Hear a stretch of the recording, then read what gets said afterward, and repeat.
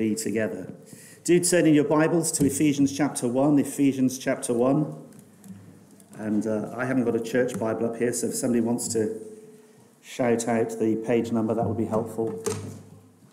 I'm echoing a bit, I don't know why, is that because I've got two microphones or. But never mind, we'll leave people to sort that out. If you want me to switch the roving mic off and just use the main one, no, we're all right? We're all right, good. Ephesians chapter 1, brilliant. Page number, anybody? 1173. Ephesians chapter 1, page 1173. Well, whole life worship. What sort of week have you had? Worshipping God with the whole of your lives. I think Ollie mentioned last week about every time you have a drink, worshipping God. I think I forgot that one pretty quickly, but um, it might have happened over one drink. But um, have you got on worshipping the God with the whole of your lives? We saw last week that worship is responding to everything, responding with everything we have and are to what God has done for us. This quote from one commentator worship in the New Testament means responding with uh, one's whole life and being to the divine kingship of Jesus. Worship in the New Testament means responding with one's whole life and being to the divine kingship of Jesus. But what does that look like? How do we, how do, we do that? So, tomorrow morning, you're standing next to the bed of a woman who's screaming in pain as she tries to give birth to her first child, and you're meant to be worshipping God as you do it. Sounds a bit strange, doesn't it? Or you're a teacher, first lesson on Monday morning, kids all, um, you know, not really willing to, to engage with you and listen to what's going on. And uh, you've got to teach the first lesson, and you've had a rubbishy weekend. How do you worship God? Or you're back in at Rolls Royce tomorrow designing aeroplane blades. And you've heard on Sunday that you've got to worship God with the whole of your life. What does that look like? Or you're a young Christian going to school tomorrow morning. And you've heard me say on the Sunday morning, you know, that worship is responding with all of our lives to what God has done for us, the divine being of Jesus. How do you do that practically? What does that look like? Or maybe you're a parent struggling with uh, looking after your kids, and, and uh, you're just so glad when they've gone to school or when they're in bed, and it all seems a bit of a struggle at the moment. How do you do that in an attitude that worships God? And what if you're retired and you get up every day and it's just the same and you've got nothing particularly to look forward to? How do you do that? Worshipping God. Or what about in your marriage? Whether your marriage is great and you're on top of the world and so fully in love with your wife that it's so romantic and wonderful, you have a great time every day, or whether you're struggling and finding things a bit hard and dry sometimes. How do you do that and worship God? What if you've got a long term illness and every day you get up and it's a struggle to get through another day? How do you do that worshiping God? Or maybe you're a carer and you're looking after somebody full time, and every day you've got to get up and just look after this person and their needs. And somehow it feels like such drudgery at times. How do you do that? Worshipping God. And how do you do sermon notes on a Saturday afternoon when you'd rather be watching football or something, you know? And how, how do you do that? Worshipping God, and so on and so on. How do you do any of these things as a response to the divine being of Jesus? How do you do that? Well, it seems to me that what we need is a vision that covers them all, a whole life vision. You could say that whole life worship will only flow out of a whole life vision, a total vision, a complete vision, an overarching vision that touches every area of our lives in such a way that it makes it purposeful so that everything we do contributes to this overall purpose. Everything from the moment we wake up in the morning to the time we go to bed at night, everything we do contributes to this whole life purpose, this whole life vision. But then you might be one of these really sort of pessimistic people and say, How can anything I do be purposeful if ultimately in a few short years I'm going to die. This is what Leo Tolstoy said when he reflected on that, the writer of War and Peace.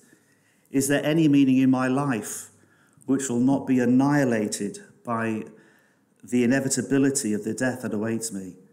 Any meaning in life which will not be annihilated by my death? So we need a vision as well that not just encompasses the whole of life, but a vision that encompasses beyond death that encompasses everything, that's in a sense universal. And so, verse 15 For this reason, ever since I heard about your faith in the Lord Jesus and the love which you have to all God's people, I have not stopped giving thanks for you, remembering you in my prayers. I keep asking that the God of our Lord Jesus Christ, the glorious Father, may give to you the spirit of wisdom and revelation to know him better. I pray that the eyes of your heart may be enlightened in order that you may know the hope to which he has called you, the riches of his glorious inheritance in his holy people, and his incomparably great power for us who believe that power is the same as the mighty strength he exerted when he raised Christ from the dead and seated him at his right hand in the heavenly realms, far above all rule and authority, power and dominion, and every name that is invoked, not only in the present age, but also in the one to come.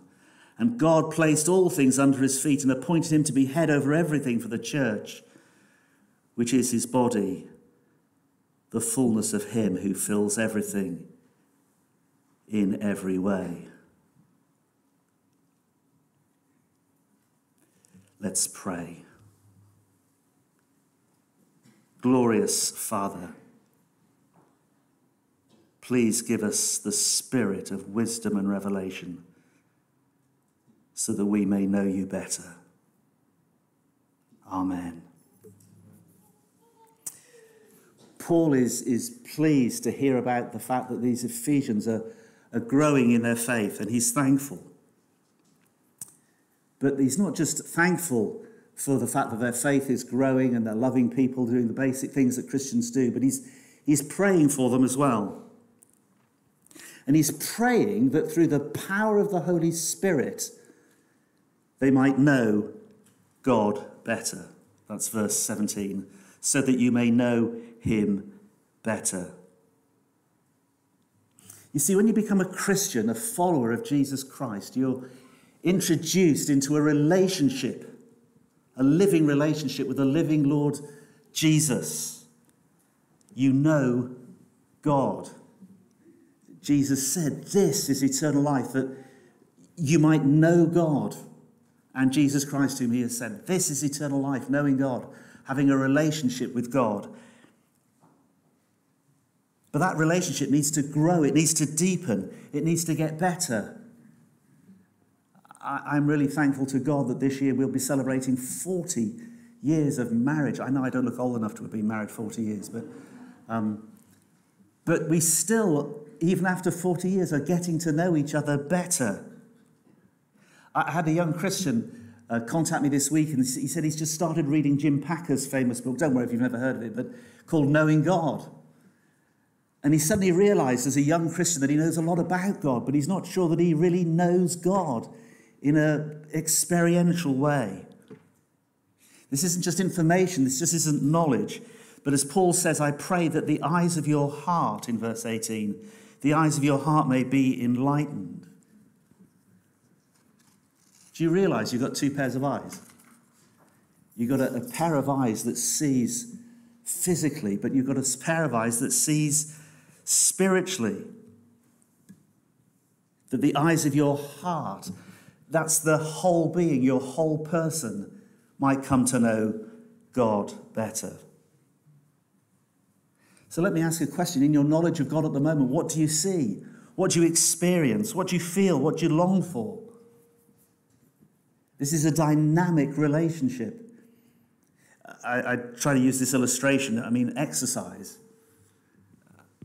we we all know, don't we? We've all been told so many times that, you know, at least three times a week for half an hour, you've got to pump it so your blood, your heart rate goes up as far as it possibly can, three times a week, half an hour at least. Hands up if you know that. Hands up if you do it. Very, very few. You see, it's no good just knowing something. It's no good just knowing about God. You've got to believe it to be true, and then it changes your desires. It's so important, it's so vital that it changes the way you desire things, it changes your emotions, and then you change your behavior. You get off your backside and you run, or you do whatever you do to exercise or swim and so on. Do you see this? Paul is praying that the eyes of their hearts may be enlightened. And I can speak this morning till I'm blue in the face, but unless we pray that God gives us, gives you a spirit of wisdom and revelation to know Him better, it will all be in vain. But that's the sort of knowledge that Paul is praying for, that our hearts may be enlightened. And he prays for three things. This is his whole life vision. First of all, in verse 18, he prays that you may know the hope to which he has called you. Listen carefully. He wants you to know, God wants you to know the hope to which you've been called. Now, this call is not vague. This is not, Steve, do you feel like coming around after church and having a coffee? It's a call that is a summons. It's not a casual invitation. It's a command. The theologians call it an effectual call. In other words, it always works, it never fails. I want you. That's what Jesus is saying. That's the call of God. I want you. I want you to belong to me. I want you to be part of my family. And so when Paul writes to the Romans, he talks to them about the called of Jesus Christ. God has called you into fellowship with his Son. Have you got hold of that? God, the living God, has deliberately intervened in your life to call you to belong to Him. But He wants us to know the hope of that call. And it's for what? What is the hope of that call? It's for glory. It's for everlasting friendship and fellowship and relationship with Jesus Christ. That's why he prays to the one who is the glorious Father, the Father of glory, because he's calling us to this hope, which is glorious, which is glory. That is the hope to which you have been called. Those he called, he also justified. Those he justified, he also glorified. Past tense, you see? It's, it's certain. It's the hope to which you've been called. We read in our prayer time this morning from the words of the Lord Jesus in his prayer, I want, he's praying to his Father, I want those you've been given me, those you've given to me, all you believers, to be with me where I am. That's what he wants. So that you might behold his glory. That's the hope to which you've been called. Christ in you, the hope of glory. As we behold him, we're being changed all the way through our lives from one degree of glory to another. And when he actually appears, we shall be like him, for we will see him as he is. He who has this hope in him lives a different life, purifies himself. You see, this is a vision which goes beyond death. Its, its goal, its end, it's the point of our salvation. That's where it's all heading. And it's the hope that gives meaning and purpose to everything that we do. You see, it's this vision that I was talking about, this whole life vision. So I'm struggling in my job. Tomorrow morning, it's hard going. But I know He's working through these circumstances to change me to one day become perfectly like Him. He causes all things to work together for that good. He's predetermined that I will become like Jesus. That's the hope. I'm struggling in this relationship. This person I relate to at work or at school is hard, but He's using that. So Paul will say, We rejoice in hope of the glory of God. But we also rejoice in our sufferings because suffering produces perseverance, and perseverance, character, and character, hope. There it goes again, you see. So, whichever way you go, you end up with hope in the glory of God. And Paul says, you and I, if we're going to give the whole of our lives in worship to God, if everything's going to have a purposeful meaning, we need to pray that we see this hope clearly. You know that, that little video with all those things rushing at you, tape blinding your eyes, rushing, rushing, rushing, rushing, rushing. Push them away and see the hope to which you've been called. And then the second thing that he asks, he prays for in verse 18, is that they will know the riches of his glorious inheritance in his holy people. Now, that's remarkable. The riches of his glorious inheritance in his holy people. We're used to talking about as Christians about our inheritance, aren't we? You know, we've been born again to a living hope, to the resurrection of Jesus Christ from the dead, to an inheritance that is will never perish, spoil, or fade. Yeah, Easter sermon over and over and over again. Our inheritance. But here, just look at the words closely. He's praying that you may know the hope, the riches of his inheritance in us. God inherits in us his holy people. Have you got that? Do you begin to see that? God is going to inherit you and me, his holy people. It's not actually a new idea.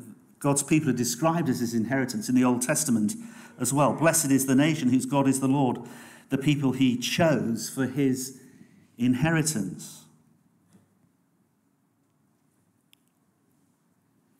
But this inheritance in us, he says, it's the riches of his glorious inheritance. It's, it's priceless, it's glorious. He describes us as his treasured possession.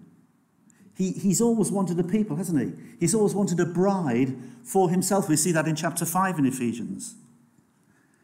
So I get the hope of his calling, that's what I get, and he gets me, us, as his inheritance. Now, what happens if you know you're going to inherit something? What do you normally do? I mean, depends what it might be, but certainly, you know, if it's your mum's jewelry, you know that you're going to inherit that. Well, you might look at it occasionally, you might look after it, you might protect it, you might keep it clean, you might, because you know it's going to come to you eventually. In my family, it was my father's um, MBE medal because he got an MBE for services to the community and so on. But, but we know all about it and we treasure it and we care for it and we, we protect it and we watch over it. Well, that's what Jesus is doing with his inheritance he will see the fruit of his soul and he will be satisfied with us. As we sang last uh, Sunday night, I think it was, millions redeemed shall be Jesus' reward. In chapter 5, the church is going to present her to himself, a glorious church. Isn't this wonderful? I, I get the hope to which he's called me, but he gets us as his inheritance. So you're making aero engines tomorrow morning. You're making blades to fit in aeroplanes that might not yet but still be flying, and you think, is this really worth it or whatever? But hang about, I'm Jesus' inheritance. I want to do this the best way I possibly can because it's for him and he's going to inherit me. And I don't want him to inherit something that's been shabby or, uh, or, or, or dilapidated or uncommitted. I want him to, to have the best that he possibly can. I'll do it as the best as I can. What about when you wake up in the morning and you can't get out of bed because of your long term illness?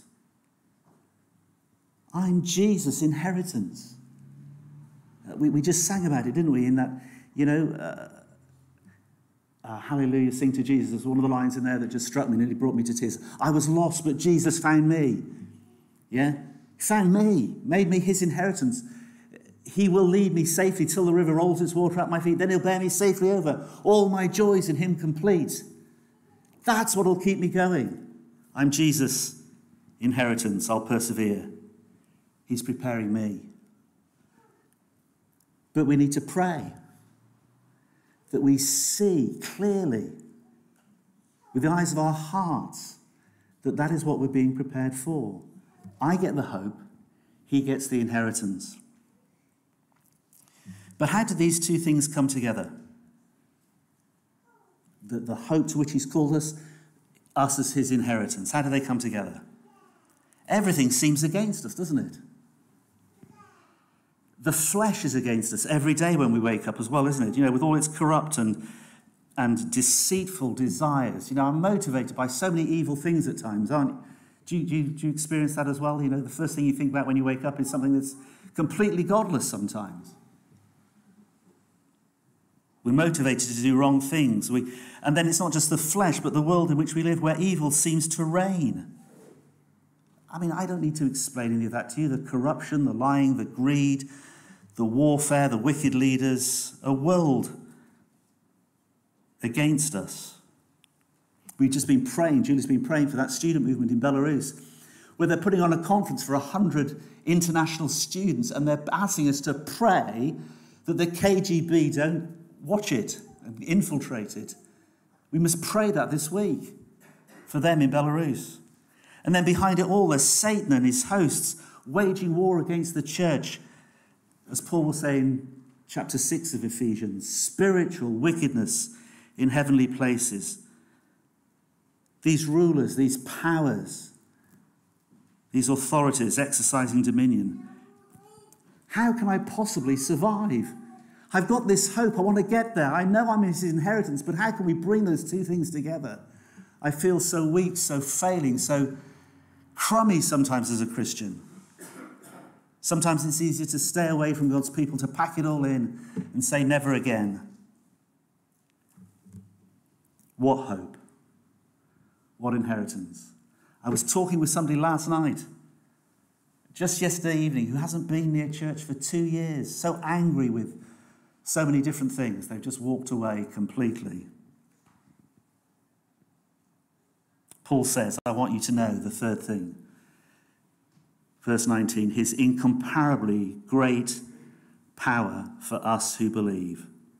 That power is the same as the mighty strength he exerted when he raised Christ from the dead. I want you to know this. Paul ransacks the dictionary for words about power. I don't know if you noticed that. Uh, um, his incomparably great power. Power is the same as the mighty strength he exerted. He uses six or seven different words to try and get across this thought to the church in Ephesus and to us today that this mighty power, which is for us who believe. Do you see that in verse 19? It's for us who believe. The greatest power in the universe not a physical power, was a spiritual power that took a man who was in the grave, dead and buried, and raised him to life with a new body, and then took him up through the heavens, far above all principality, power, might, and dominion, and every name that can be named, not only in this age, but in the one to come, and has put all things in subjection under his feet and made him Lord of all. Did you notice the alls, far above all rule and authority, power, and dominion, and every name that is named? And God placed all things under his feet and pointed him to be head over everything for the church. It's as if Paul just runs out of words completely to express this power which is for us who believe. You see, if you lived in Ephesus, well, your great power was the goddess Artemis, Diana. Two hours they stood there shouting when there was that riot. Great is Artemis of the Ephesians, great is Artemis of the Ephesians, great is Artemis of the Ephesians. They would name other gods. Every time they wanted something, they would name a particular god. They practiced magic. They believed in the, the world was ruled by powers. And us? In our pathetic, superstitious way, we touch wood. University challenge, those brightest brains in the country. They've got little mascots on the desk in front of them. I just love to go and say, Can I just take your mascot away? And would you be all right to be on University Challenge without your mascot? I bet they'd go up in arms.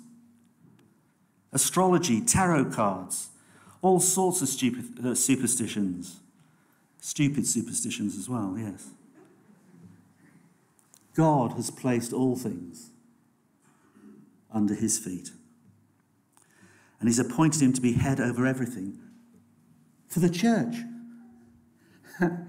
Jesus rules all things as a man for the sake of us, his church, to make sure that we get to the hope and to make sure that he gets his inheritance. Jesus Christ, the glorified man, now rules everything, wherever you are, whatever you're doing tomorrow, all for our benefit,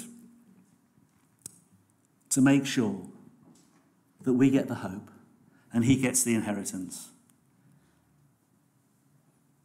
And the future is guaranteed. If you go on into chapter 2, there is no actual uh, connecting words at the end of chapter 1 and chapter 2 in the original. It just starts, and you, and you. The incomparably great power that raised Christ from the dead and set him in his own right hand, far above all principality and power, and you, which is why in verse 6 he says, raised us up with him and seated us with him in the heavenly realms in Christ. We're untouchable. That's why the church is such a glorious church. That's why it's so great to be a Christian. So, if you are struggling with old age this morning, you've got everything to look forward to. The best is yet to come for the whole church. So, in this little piece of life that we've got on earth here, we're just waiting for the hope to which we've been called. We're waiting for Him to inherit in us. And let's just invest everything that we've got in what we do for Him as we look for that hope and He looks at that inheritance. It's a whole life vision that will make us do everything, in a sense, with an attitude of worship. Whole life worship happens, is real when we have a whole life vision. Hope, inheritance, power. If you want a hip vision, and it's easy to remember, the hope to which you've been called, get up tomorrow morning. The inheritance that he's going to have in us and the power which is on his church to rule all things for the sake of his glory and to bring his purposes to completion. That's what we're to know. That's what we're to see clearly with the eyes of our hearts being opened. But it's revelation that comes from the Spirit from the Holy Spirit who lives in each one of us as we pray. So let's pray.